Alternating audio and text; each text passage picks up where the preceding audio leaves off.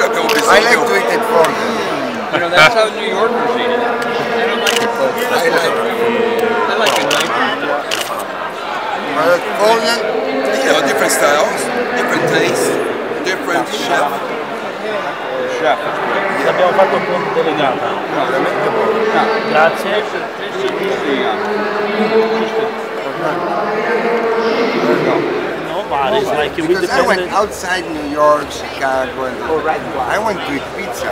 and Disgusting pizza, terrible pizza. Really like the worst fast food ever. That's bad. It's bad for Italy. It's bad for Yes. the name of pizza. It's bad for people like you that does professional pizzeria. But the family guy, the guy who, who starts his own business and, and tries to build it, he's suffering right now. Yeah. He may have great pizza, but he doesn't have the rest of the structure around him.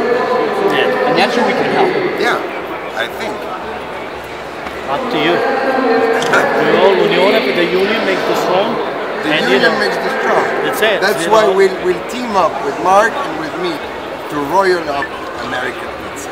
it- You don't need because you're already one of the best. We'll, we'll make always better. Every day we get up with one point, we gotta make every day better. That's our That's our goal. That's your philosophy. When did That's you leave Italy? 22 years ago. I left Italy from Sicily 22 years ago, and I'm in New York since then. In Staten Island. In Staten Island. Never left the island. Never left the island. And my name is Leonardo. And I named the pizzeria Mona Lisa because I want to keep the tradition, you know, more original I can. More original. Now, is there one Mona Lisa? There is a few because obviously we cannot franchise it, by in Staten Island there's only one Mona Lisa. Fantastic. We'll come and see you.